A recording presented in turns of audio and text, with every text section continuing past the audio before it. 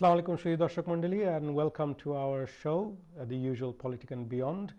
এখানে আমরা যথারীতি যেটা আপনারা জানেন যে আমরা আলাপ করে থাকি বিভিন্ন পলিটিক্সের উপরে এবং পলিটিশিয়ানরা আমাদের সাথে যোগ দেন এবং বিভিন্ন পলিটিক্স সম্বন্ধে আমরা এই অনুষ্ঠানে আমরা কথা বলি এবং বেসিকলি যে আপনি কীভাবে পলিটিক্সকে সুন্দর করতে পারেন এবং পলিটিশিয়ানরা কীভাবে আপনার লাইফকে সুন্দর করতে পারে সেগুলি নিয়ে আমরা এখানে আলাপ আলোচনা করি আজকে আমাদের সাথে যিনি আছেন তিনি হচ্ছেন অ্যান্ড্রু বফ আমাদের সেজন্য আমরা আজকের প্রোগ্রামটা আমরা মোটামুটি ইংলিশেই করব এবং কিছু কিছু জায়গায় আমি চেষ্টা করব বাংলায় সারমর্ম করার জন্য the Assembly Member uh, for City and uh, East, uh, Mr. Andrew Boff. He has been um, a conservative um, campaigner member since he was a young lad and uh, part of his history is that uh, when he was um, he was one of the youngest uh, branch founder um, within the Tory system back in the 70s. He was um, a councillor in Hillingdon in, in the in the 80s, um, and while he was a councillor, his mom was also a councillor. So he comes from a, a, breed of politicians. Um, he was the leader of Hillingdon Council between 90 and 92 and uh, he he uh, has stood for the mayoral election um, in the London uh, wide and also in Hackney. without any further ado, I'm going to introduce you to you introduce to you Mr. Andrew Boff, who is with us today. Andrew, thanks for coming to our show. Thank I you. really Ahmed. appreciate your time. Thank you. Um, as I've said, you know, you've been a Tory all the way through. Yes. And um, one of your achievements was um, to create a, um, a, a, a branch while you were still, still in school. Yeah, you, you do your research, don't you? I mean, uh, that- I'm, I'm really quite. I, I, th- I actually lied about my age in order to join the Conservatives when I was Ah. 15 and set up a branch So of. politicians lie. Oh, I'm afraid. Well, afraid they Quite do. early Uh, on. That was the one and only time. Okay. The one and only time. Uh, in order to, because then you couldn't be, become a member unless you were 16. Sure. And uh, I remember setting up a Conservative branch as well. Sure. Um, and uh, yeah, so I've, I've had I've had a fairly long uh, history. And to be honest, I, w- I was pushing leaflets in through doors when I was 12. So yeah, long a, lo- a long period. A- along long along with your mom because she was also a, a That's right. And I'm astonished that you managed to get that piece of information. And I still, I think, uh, am down as the only person who was a leader of a council while their mother was the mayor at the same time. and uh, she used to have to shut me up in council meetings uh, and found it quite hard sometimes. Sure. but um, yes, I think that's the only uh, time that that's actually happened, to, certainly in London politics. Um, I'm, I'm, I'm not member of City and East though. I'm member for the whole of London, which All covers right, okay, City sorry, and I'll, East. Which I'll covers you, you City cover, and East. you cover, that's yeah, right, sorry, yes. yes. Uh, Andrew, before we go into um, our segment, which is a very short one for, for today because we had Yeah. the Azan, um, what we do is we, we draw the um, uh, uh, prize for the winner who's, who's got the question right for the last um, quiz. The last quiz was um, where did the US President Eisenhower have a residence in Scotland? And um, don't think I the, uh, the answer is Culzean Castle. That's where he had a residence, yes. And uh, we have some uh, winners here, so you need to pick Okay. one out. So everybody else who entered, I'm, they're now not going to vote for me because I didn't pull their name out. So I'm sorry. I'm sorry about that. Uh, but um, there we go. Just read it out. Asma Begum Okay. in Kent. Okay. So Asma Begum is the winner from Kent, Yeah. and we will duly uh, send her a prize to her. Thank you.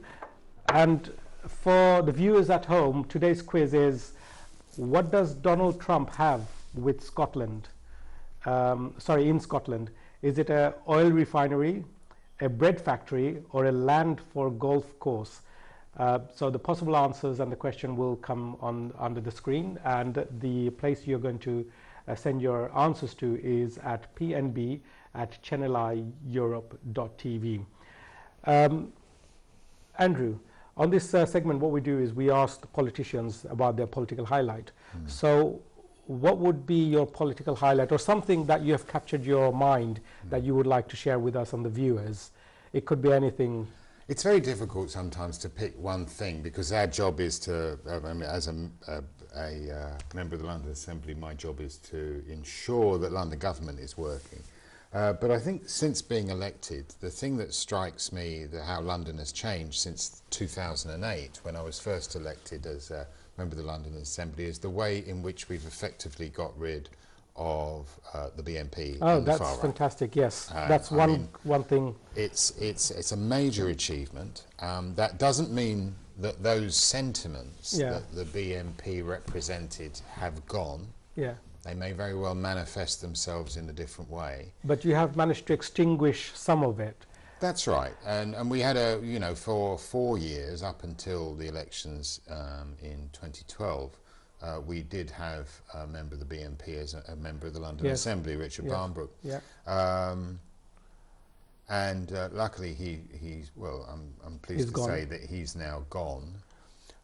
We must always be vigilant, however, because those same sentiments will Yeah. change. You know, because it didn't used to be the BNP; it Yeah. used to be the National Front. If you Yeah. remember, I'm, s- I can still remember when that first National Front councillor was elected Yep. in Tower. Hamlets. yeah. Uh, back Darren in the Bacon. no- that's it. Derek back, Bacon. Yeah, uh, back in the 90s? uh, in the 90s, Yeah. and th- that was done because you of probably been the uh, leader at that time. I was leader of in Hillingdon Council at at that the time. time. Yeah, yeah. and and it was a, an object lesson in how not to deal with uh, communities.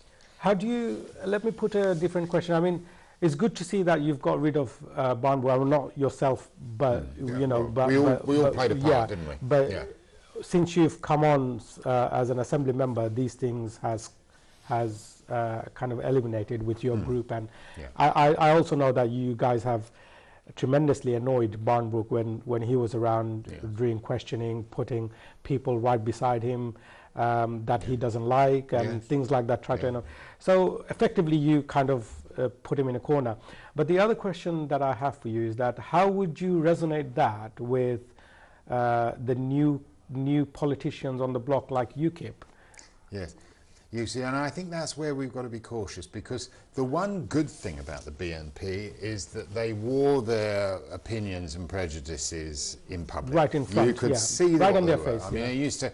You, I, I'm pleased to say that he put in a complaint about me, Richard Barnbrook put in a complaint about me because I used to refer to him as a Nazi. You know, as far as I'm concerned, that's what he was.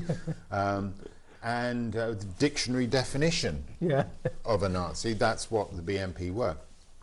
When we look at organisations like UKIP, UKIP is, is another political party that basically tries to divide people rather than Yeah. unite people. they're more in a suited booted, but their That's right. fundamental agenda is the same. They may not. They may not have an issue about the skin tone or the Yeah. colour of people's skin, Yeah.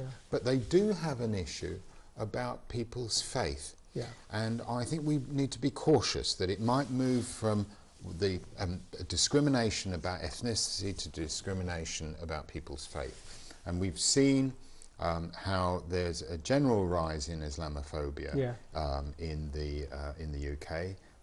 The situation in the Middle East doesn't help, um, Yeah. but we we all need to be alert to the fact that there will be Islamophobic and anti-Semitic attacks as a result of uh, what's happening in the um, uh, in the Middle East. Now there are there are parties that take uh, take advantage of the hostilities Mm. uh, to certain uh, certain communities.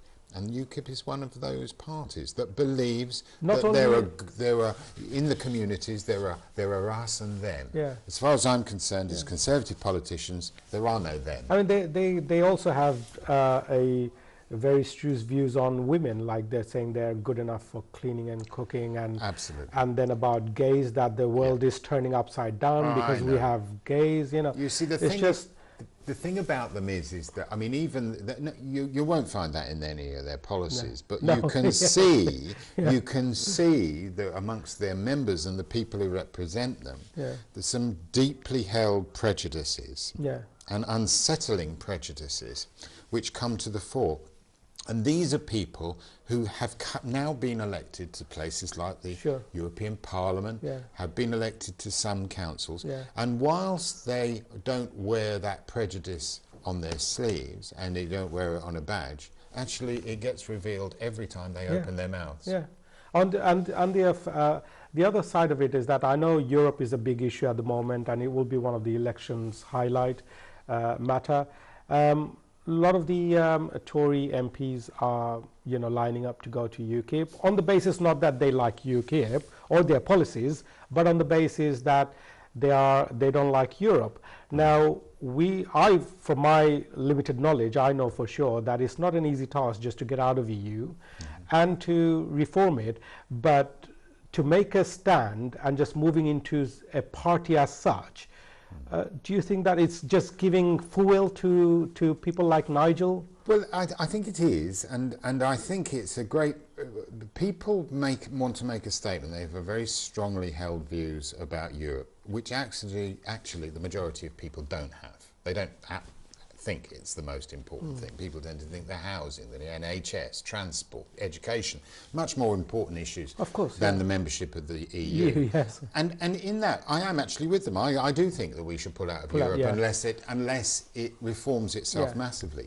However, what they're doing by uh, joining UKIP or um, you know uh, making these statements is they're mac- actually making it harder to come Yeah. out of Europe because the part the, the, the most Eurosceptic of the uh, traditional parties is the Conservative Party. Yeah, yeah. We're the ones who are going to be able to promise a referendum and make a choice. And I may I say, I think that there's a huge parties have been. Uh, perhaps I, I haven't got on further in politics because I sometimes criticise my own party.